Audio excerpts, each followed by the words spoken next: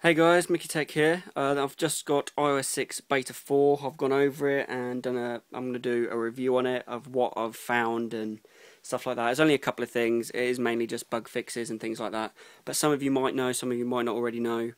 Um, YouTube application has now gone. The Apple have done away with the YouTube application. So as you can see here, there is no YouTube application. I'll just show some of you that think I'm lying. There we go. That is the Beta 4.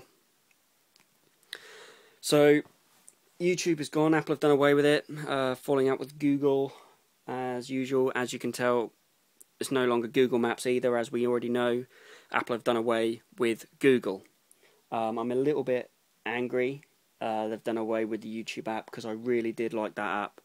Um, I know quite a lot of people didn't. They hadn't changed it since 2007, which I think they could have done something with it but they haven't. So I'm a little bit peeved about that.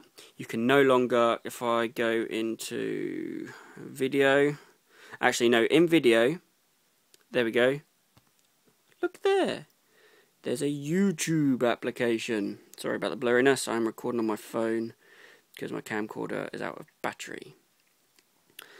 So you can still vlog and stuff with your phone and send to YouTube. So the application is still built in but you can't view it. You can't.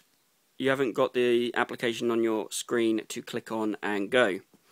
So I'm a little bit annoyed about that. Um, but oh well, we will plod on, and I will just read this statement uh, from Apple. Apple have released this statement um, saying our license to include the YouTube app in iOS has ended. Customers can use YouTube in the Safari browser and Google is working on a new YouTube app to be in the App Store. So hopefully, guys, it won't be long, and Google will have their application in the App Store. Uh, but for you guys on the beta, that probably won't be until iOS 6 is actually officially released. So if you want to update, you're not going to have the application there if you want the applica- if you use that application. Uh, if you don't use it, then yeah, I'd say update to iOS 6. But if you use it, on a regular basis, I'd stay stay on iOS 6 beta 3. So moving on to the next thing that I've noticed is Passbook. Now Passbook has a new added feature, App Store. We can click on this App Store, but nothing will happen. It cannot connect to iTunes Store. So they've added that. So that is a slight update they've added to Passbook. Um, apart from that, I must admit, guys, they're the only two things I've really noticed that I have found. But if you have found any more, please, guys, share with other people and let me know. Leave in the comments below, because um, then I will come back and do a later review if there is more features that you know that stand out. But the two major features is YouTube is gone, and Passbooks now has the App Store button at the bottom.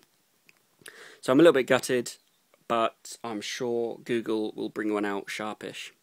So thank you very much for watching guys. Um, please thumbs up the video, it really does help me out. And hit that subscribe button for more footage and everything on the betas, iOS 6 betas and news.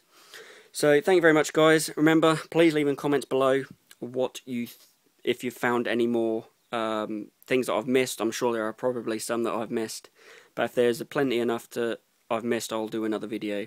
So thank you very much for watching, guys. I'll catch you all in the next one. Bye for now.